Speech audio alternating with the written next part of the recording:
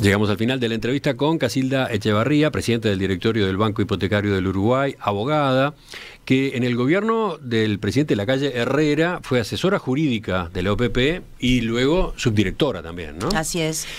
Entonces, por ahí viene una de mis dudas eh, en estos minutos. En función de, tus antecedentes políticos, que seguramente llevan a muchos a calificarte como una liberal, eh, debe haber sorpresas con esta forma como te has plantado tú desde tu cargo de presidenta del Banco Hipotecario defendiendo la continuidad del totalmente, Banco Hipotecario, Totalmente, todo el mundo me dice lo mismo. ¿Qué explicación das a eso? Que es inoportuno, pero que no me niego a ello. porque, porque la lectura más simple es, ah, bueno. Esta es estadística. Se aferró al cargo. Sí, se aferró al cargo. Primero que no me aferro a ningún cargo, que yo vengo de la actividad privada, estaba chocha, dejé un montón para estar en este cargo y colaborar con el gobierno blanco. Así que en primer lugar, eso. Y en segundo lugar, no me niego a ningún...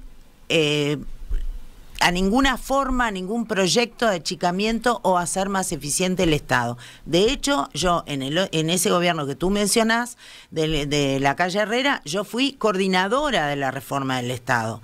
Y te acordás que estaba Sayagués, que hizo una cantidad de cosas, que no es solo achicar el Estado. Sayagués fue un, pero un excelente funcionario en reducir trámites. Sí, sí, el Programa Nacional de Desburocratización. ¿Te acordás? Lo creó él, lo impulsó él. Claro.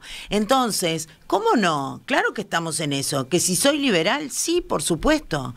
Pero primero, hacer las cosas bien. No es de un día para el otro, no es con un proyecto de ley, no es con la causa que dicen que lo quieren y no es oportuno.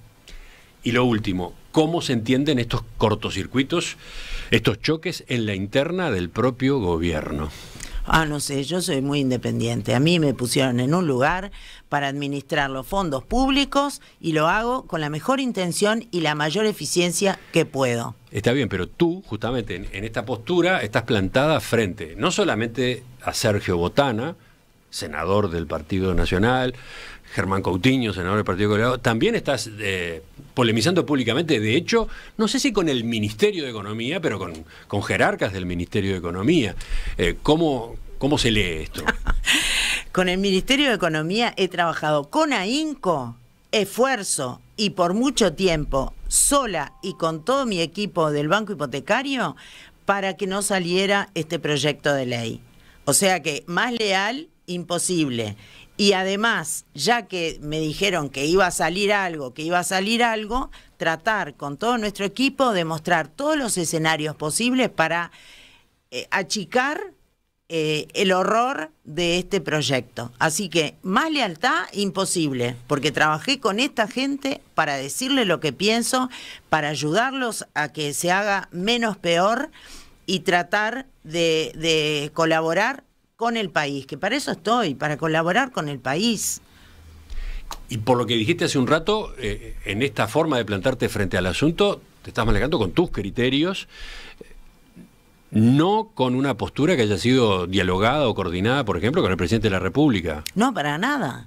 El presidente no me llamó nunca para hablar de este tema. Esto también es raro. ¿Cómo es que no ha habido diálogo? El presidente intercambia con varios jerarcas. Hace unos días nada más, después de una conferencia de prensa del Ministerio de Transporte y Obras Públicas a propósito de los radares, llamó al ministro Falero, le pasó una especie de ajuste a, las medidas que se habían comunicado.